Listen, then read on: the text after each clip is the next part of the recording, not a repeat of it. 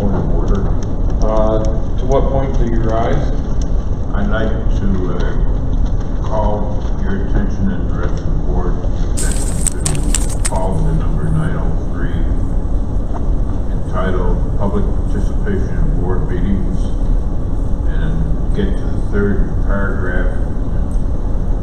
In order to permit fair and orderly expression of public comment, the board shall provide an opportunity at each open meeting of the board for residents and taxpayers to comment on matters of concern, official action, or deliberation before the board prior to official action by the board.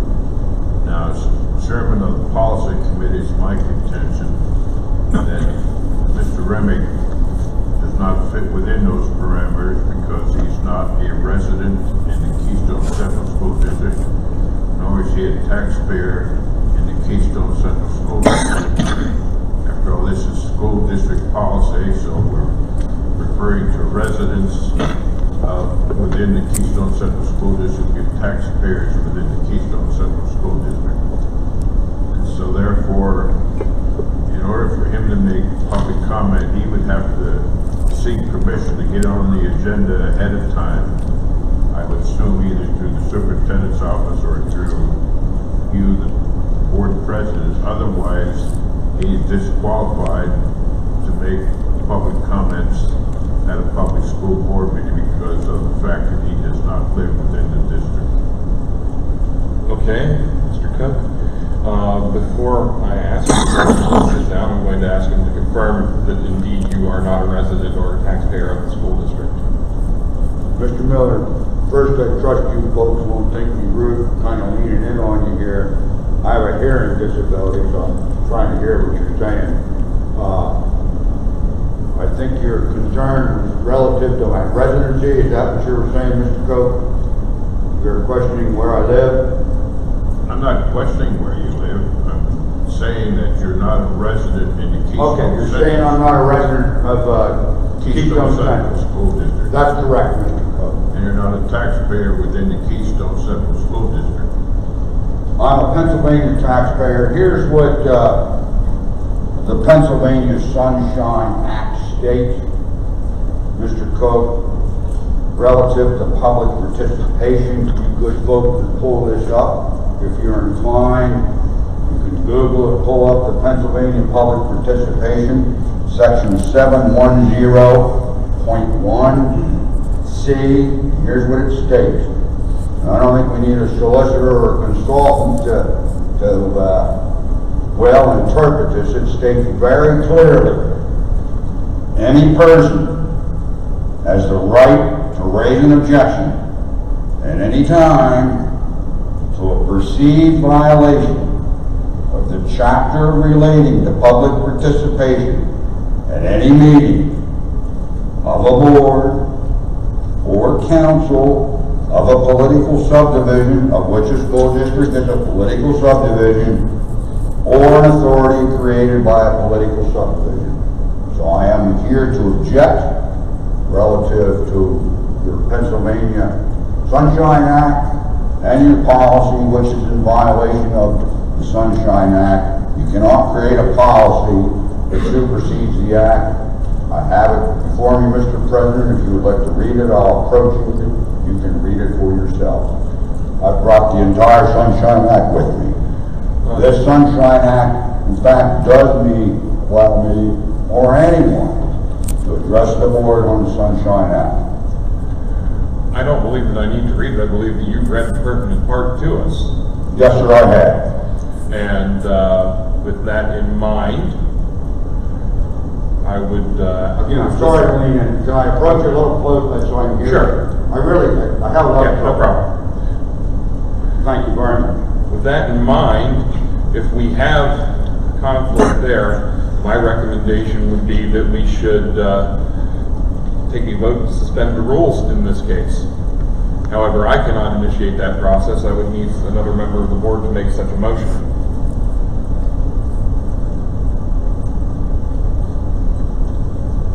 As you consider the matter, Mr. President and, and board members, and, uh, congratulations on your three new board members that have been elected.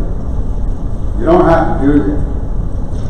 You don't have to allow me to speak, but if you do not allow me to speak on the Sunshine Act, you are in clear violation of that.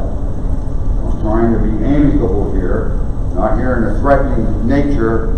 I simply would like to address the board, consistent with the United States Constitution, Bill of Rights, the First Amendment that allows me or anyone in the Pennsylvania law that says so to address this board. I'm here to create trouble. I'm here to advance my individual civil liberties and my individual civil, civil rights that you have stripped from me.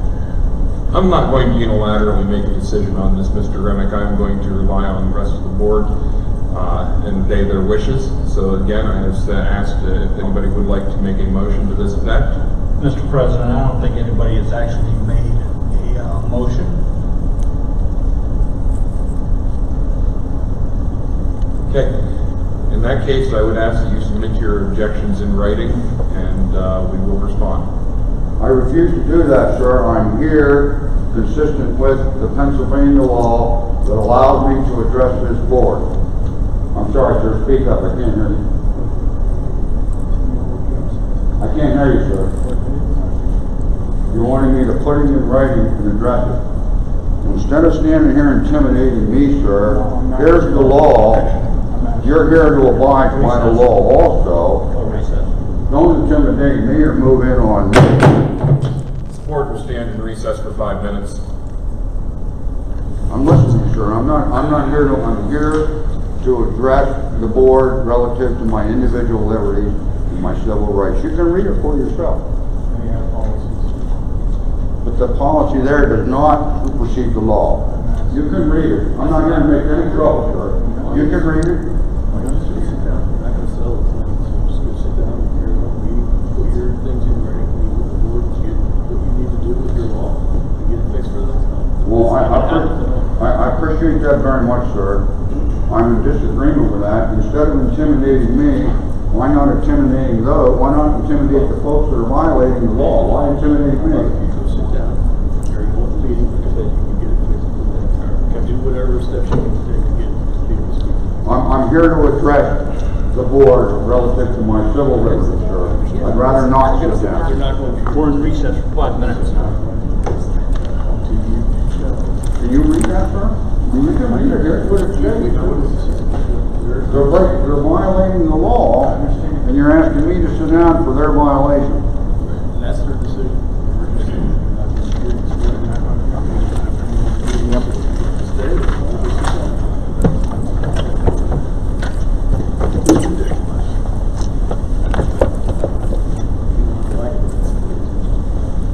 Well, I'm certainly not here to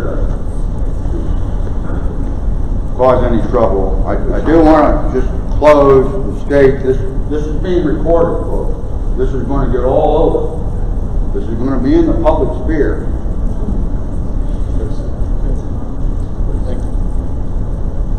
All right. Sorry, I won't talk.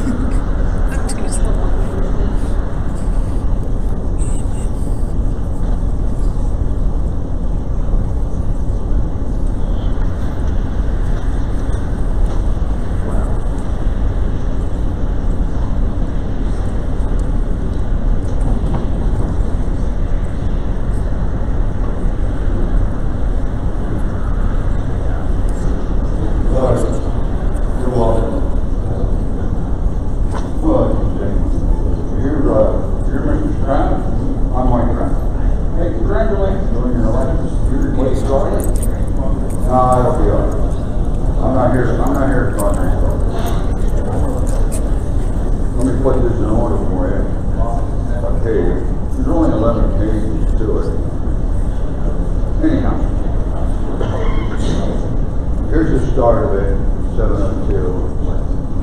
Here's what I refer to. Pennsylvania Sunshine Act, public participation in law, section seven ten point one. Any person is for it. Does